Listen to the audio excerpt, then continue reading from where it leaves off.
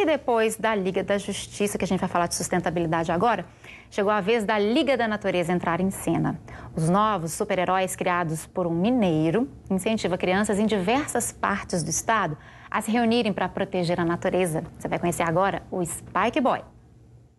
Esta você já conhece, é a Liga da Justiça.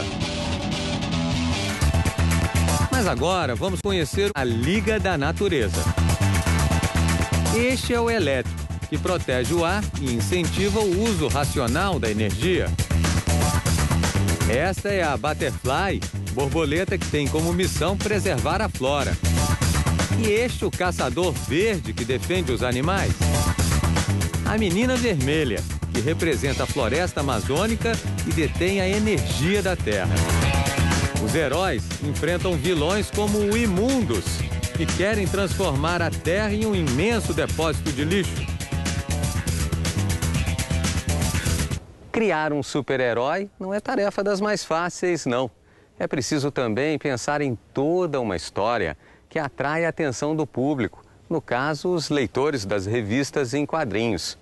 O Spike Boy surge então com uma mensagem bem definida: defender cenários como este de mata nativa, onde o planeta respira diante do progresso e da degradação provocada pelo homem. O cenário para a ação do nosso herói já estava pronto. É a mais pura realidade: aquecimento global, poluição, desmatamento, lixo, muito lixo. Joga latinha de cerveja no chão, refrigerante. Saquinho de batata frita, né? Chiclete no, no, na rua. Exatamente. E essa turminha da, da idade do Felipe não faz mais isso. Por quê? As coisas mudaram. A preocupação ambiental com o tema ambiental tá, tá, tá se fortalecendo.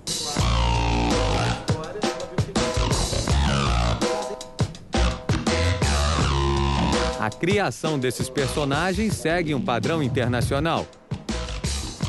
Você tem aí na, na simbologia dos heróis super-homem, que eles, eles ocupam um grande espaço na, na, cabeça da criançada.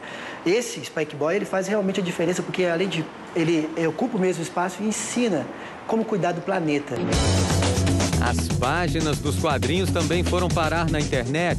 No site é possível interagir com o nosso herói na luta contra os inimigos da natureza.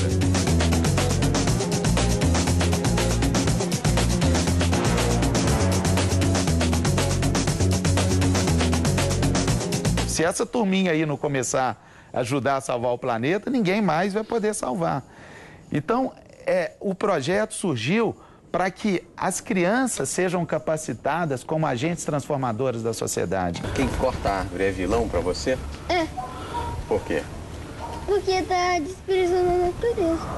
Ele é um herói que defende a natureza. Ele também parece muito comigo.